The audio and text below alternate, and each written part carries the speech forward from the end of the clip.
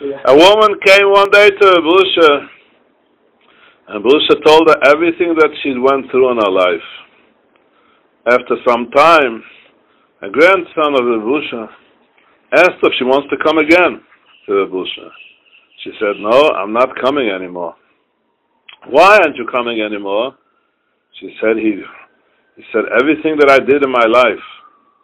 The grandson came to the Busha and asked him, What did you do to this woman? The Busha says, Picture yourself in a village where there's a septic tank that's there already 400 years. And somebody comes and takes off the cover. How it would stink will go out of that that's in there already 400 years. So the Bush, I didn't do anything. All I did is opened up our cover